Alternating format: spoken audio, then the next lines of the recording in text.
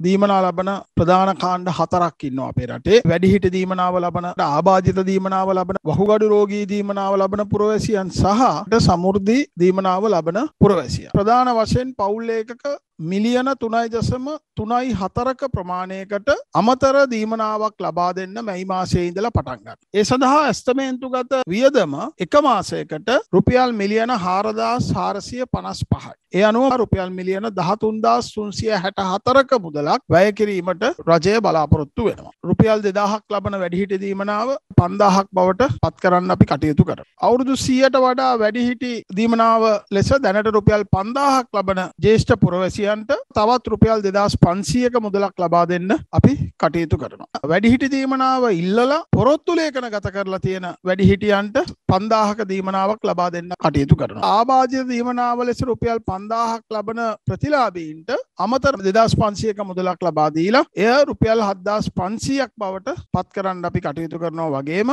ආබාධිත දීමනාව දැනට හඳුනාගෙන පොරොත්තු ලේඛනවල ඉන්න කණ්ඩායම් වලට රුපියල් 5000ක අමතර දීමනාවක් ලබා දෙන්න කටයුතු කරනවා. වහුගඩු රෝගී දීමනාව දැනට රුපියල් 5000ක දීමනාවක් අපි ලබා දෙනවා. එය රුපියල් 7500ක් බවට පත් කරන්න කටයුතු කරනවා. පොරොත්තු ලේඛනවල ඉන්න කණ්ඩායම් වලට රුපියල් 5000ක දීමනාවක් ලබා දෙනවා. ඒ අනුව දැනට රුපියල් 1900ක සමෘද්ධි දීමනාවක් ලබන පවුලක් අමතරව රුපියල් 3100ක මුදලක් ලබා දෙන්න කටයුතු කරනවා. රුපියල් 3200ක දීමනාව ලබන පවුලකට අමතර රුපියල් 3100ක දීමනාවක් ලබා දෙන්න කටයුතු කරනවා. දැනට රුපියල් 4500ක දීමනාවක් ලබන සමෘද්ධි පවුල්වලට අමතරව රුපියල් 3000ක දීමනාවක් ලබා දෙන්න කටයුතු කරනවා. මේ වෙනකොට පවුල් ඒකක 7,32,000කට ආසන්න ප්‍රමාණයක් සමෘද්ධි දීමනාව ලබා දෙන්න කියලා ඉල්ලීමක් කළා තියෙනවා. ඔවුන් සියලු දෙනාටත් රුපියල් 5000ක දීමනාවක් ඉදිරි මාස 3ක කාලය සඳහා ලබා දෙන්න කටයුතු කරනවා.